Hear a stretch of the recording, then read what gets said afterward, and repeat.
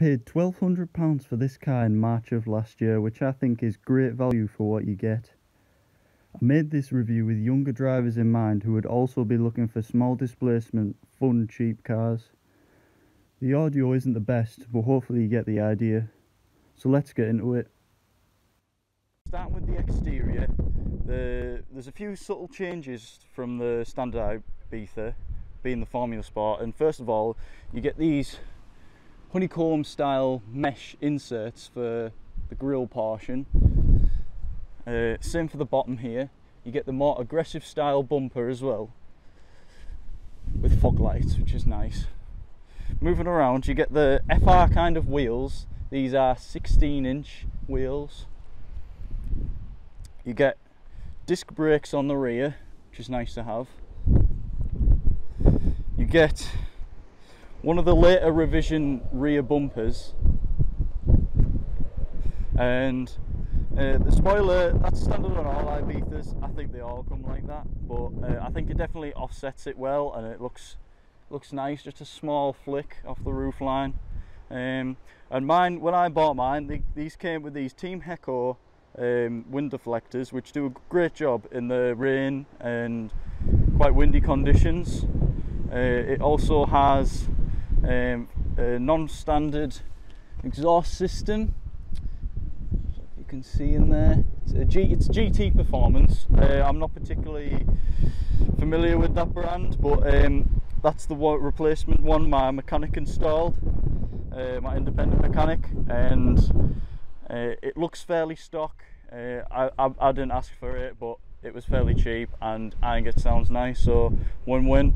It's also worth mentioning that the, the Formula Sport rides on lower suspension than standard as, as you can kind of see. It's not blatantly obvious because the wheels don't really feel uh, wheels don't really fill the arches too much but it does ride on lower than standard suspension with uh, uprated shocks as well which definitely firming up the ride.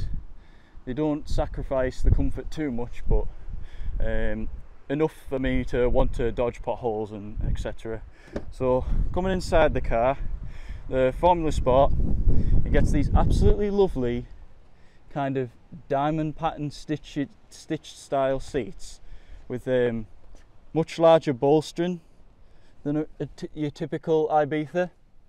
Uh, they really do hold you in a lot more snug than uh, like the standard ones.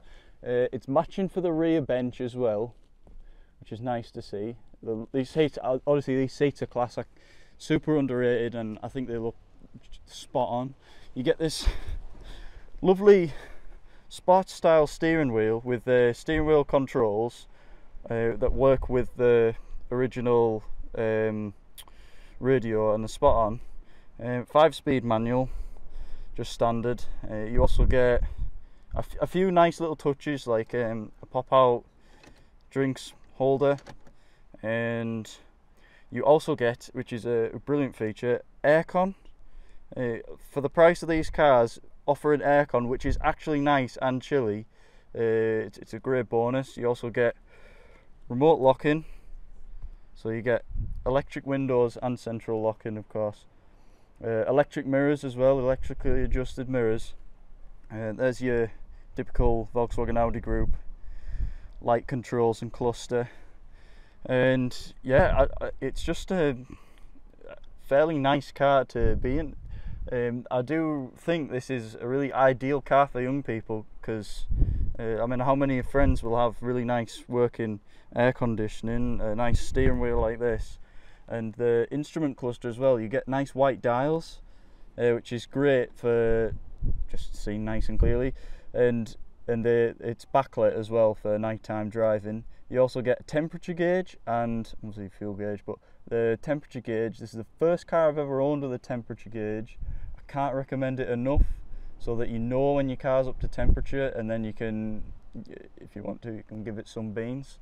So I'll take you into the engine bay. Excuse the missing decal. Uh, it fell off while I was driving, and um, I've never been able to attach it since all the clips have snapped. But this right here, this is kind of the, the point of the Formula Sport. This engine is, I don't know how well you'll be able to see under there, but it is The BBZ engine. BBZ. And basically, what that means is you get a 1.4 16 valve unit making 100 horsepower, which, yeah, yeah, it's not phenomenal, I'm not going to lie, but for this car, this car's weight, which is about 1100 kilos, give or take, and um, for the character of the engine, 100 horsepower is plenty to have good fun, good miles per gallon, and for a young person, I really do think you, you will struggle to match this. Um, it's all, there's another little BBZ little marker that someone put on previously before I bought it, but yeah, I, I can't fault this engine. As of recording this, I've had the car for six months. It's not let me down, and uh, yeah, it's been spot on. Just before we set off, it's worth mentioning that this car gets an aux 3.5 millimeter uh, female. One two one two one two.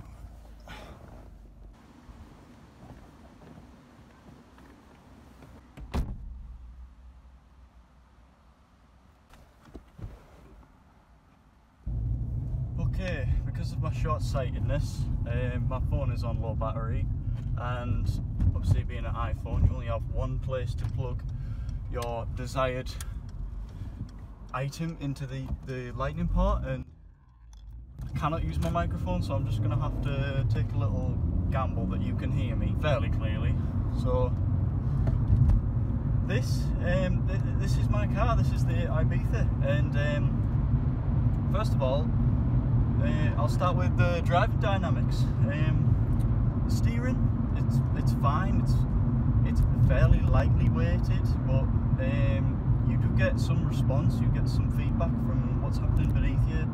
Not a whole lot, but that's what it is. Um, it, this car does offer reasonable comfort. I'm cruising here at 45 miles an hour and uh, I'm not having any problems. The surface is fairly even. The, the pedals, pedals are fine to use. It's standard Volkswagen equipment. You can't really go wrong. Everything's got long throws the throttle, the brakes, uh, the brakes not so much, but definitely the, the clutch. The clutch has got an enormous throw, um, which um, can make it a little bit uh, tedious for um, rev match downshifting. However, for a learner driver, that's exactly what you want. Nice long throws, easy to learn. The same story with the gearbox, quite a long throw, but it's just a standard Volkswagen gearbox and it does the job fine. I can still rev match with it quite happily. Try and shade you a little bit. I must say these wind deflectors do generate a bit of uh, turbulence having them on the outside, but uh, it's nothing that really upsets me too much to the point where I'd take them off. Uh, I quite enjoy having them there. I think that adds a nice little edge to the car as well. Things that I would look to change is because the throw is so long, you could install a short shift kit to help with your gear changes, just make them that, that bit snappier, that bit faster. And uh, I imagine that's something that a young person who could own this car would want to do, probably fall in their budget fairly nicely. It gets mid 40s MPG for mixed driving, it's, pr pretty good. Um, it's a 16 valve unit too, which is better than most 8 valve and 3 cylinder options. Uh, for me, for this generation, I really do think the BBZ engine is the pick of the naturally aspirated engines.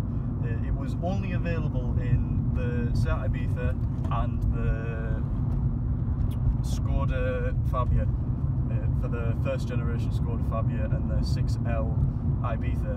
And for me personally, I would choose the Ibiza because it is the lighter of the two. It has two less doors. However, um, you can you can find uh, Formula Sports with the five door option, but personally lighter weight, nicer, nicer driving dynamic. It's a little bit lighter.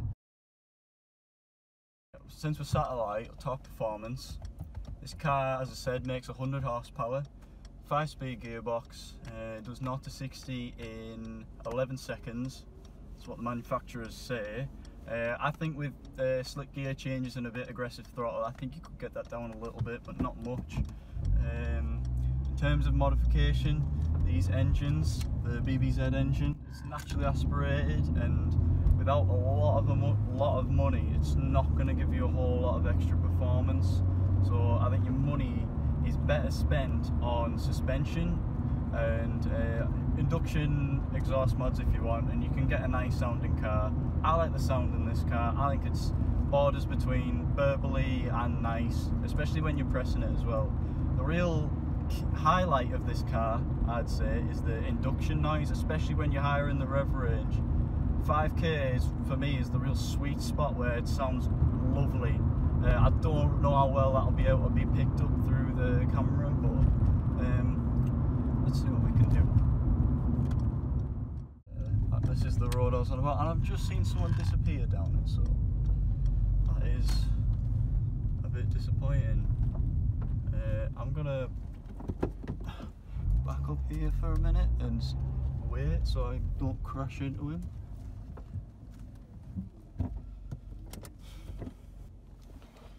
Okay, so I'll give it a little bit of time and hopefully now we can start on our little bit of fun twisty road and actually show you what the car's like.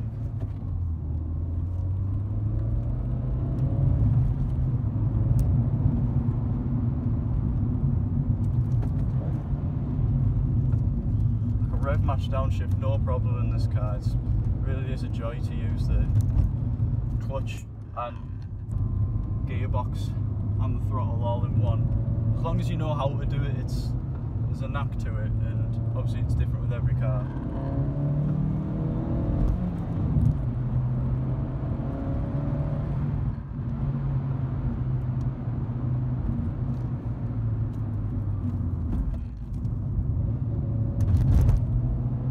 Didn't anticipate that coming at me, but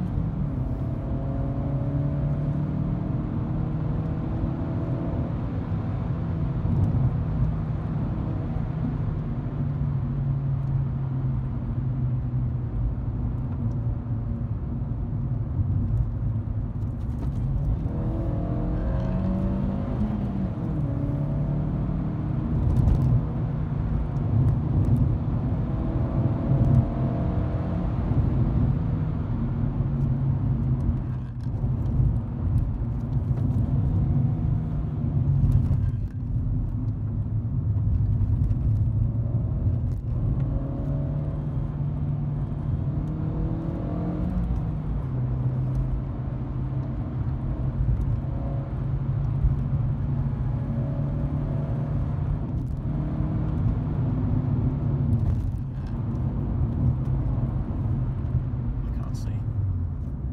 We're at a junction. So that was our little blast. Hopefully you got a little idea of what the car's like uh, on a little spin out.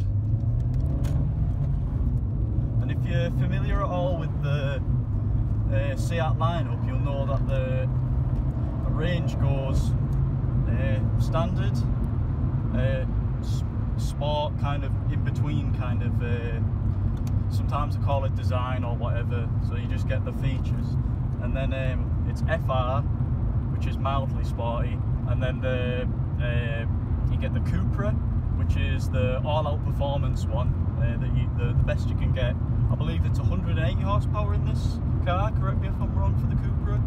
Um, so FR Cupra, and you can kind of see where this one falls. This one's Formula Sport, so abbreviated FS, just before the uh, FR. So